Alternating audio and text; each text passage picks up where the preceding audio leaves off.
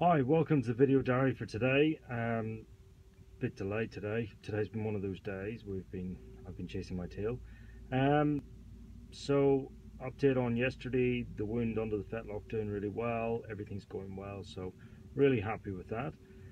Today's just been a day of one little drama to the next. Um, saw an interesting case today. Um, saw around 11 o'clock today. It Was noticed about an hour earlier. Had trauma to the eye. Um, the whole left eye was swollen. We stained it. So what we do with fluorescent stain is uh, the cornea usually doesn't allow anything to attach it. It's a really lubricated surface. When you have damp when you have a corneal ulcer we put a green dye in and it'll stick to it. Show up as bright green.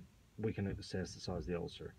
So when we look at that there one of the things we do can are concerned about is if once you go through down to another layer down to the very very finest layer of the cornea when there's a really deep damage um, you can actually get no stain uptake. So if we get that there would be a bit of a concern. But this mare no stain uptake but the whole back half of the eye. So sort of the side of the eye was white and um, with a lot of inflammation. So um, we treated with some anti-inflammatories.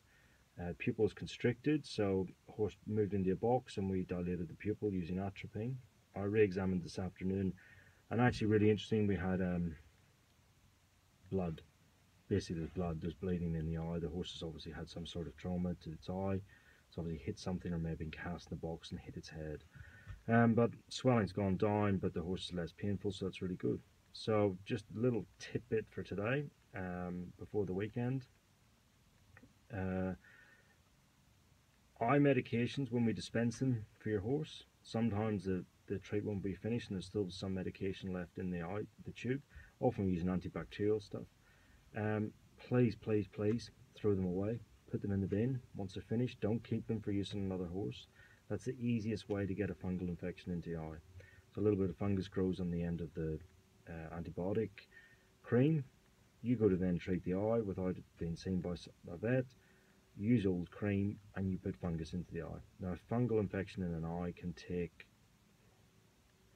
five, six, seven weeks of every two hours treatment. So it's a really expensive thing to manage, really difficult thing, and we can often lose the eye. So today's tip, it you know, is if you see your horse with an eye ulcer or an eye pain or the eye's not open properly, do ring the vet straight away.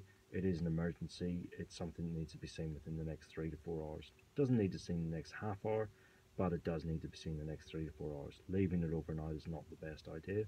Eyes can get really bad really quick so any concerns at all, get the eyes checked.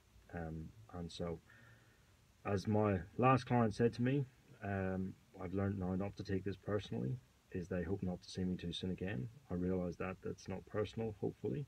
Um, and it's actually more every time you see me, it's usually bad news. So hope everyone has a safe weekend and I hope your horses are safe as well and we'll I'll see you again on Monday. Thanks very much. Bye.